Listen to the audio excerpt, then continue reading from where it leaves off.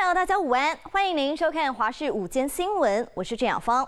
新闻开始，马上就要带大家来关心到的是桃园市在昨天晚间爆发了激烈枪战，警匪搏火，一共是开了多达九十九枪。发生了什么事？我们一起来看。杨姓嫌犯他在晚间十点五十分的时候，先是到了警福派出所开了八枪示威，在这个墙上玻璃上面都看得到弹孔。而在逃逸后，在例行路被拦了下来，双方激烈交火。而赶到场支援的蔡姓远警，虽然是被嫌犯击中了左肩膀受伤倒地，但是他还是开了十二枪来反击。警方出动十二车三十六人包夹，顺利将嫌犯逮捕。下车！银色进口轿车一连被开了好几枪，警匪在大马路上搏火，大批警力出动，团团包围，才终于将人压制在地。子弹！子弹！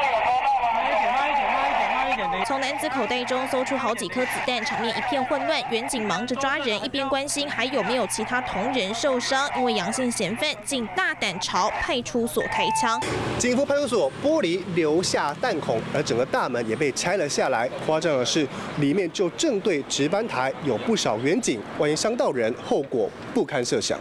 被枪击后，大片玻璃裂成蜘蛛网状。二十三号晚上十点多，杨姓枪手先到桃园警服派出所狂开八枪逃逸。桃园分局线上警力几乎全部出动，启动拦截围捕。在埔子派出所前爆发枪战，一名前来支援的蔡姓员警连开十二枪反击，但不幸中弹，左肩腹部受伤。过程中歹徒连轰四十枪，警方共开五十九枪，最后在永安路将人逮捕。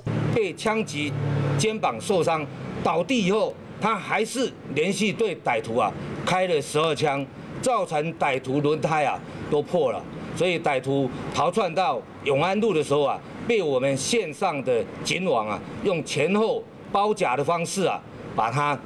包夹住，在派出所开完枪后，就一路逃了三点八公里，一路上带着三把枪到处走，随时准备跟警方搏火。这次公然朝派出所开枪，还造成远警受伤，行径实在太嚣张。犯案动机、来龙去脉都得好好交代清楚。华视新闻综合报道。Hello，我是郑雅芳，想要抢先掌握最及时的新闻资讯吗？赶快订阅、按赞、开启小铃铛，锁定华视新闻 YouTube 频道。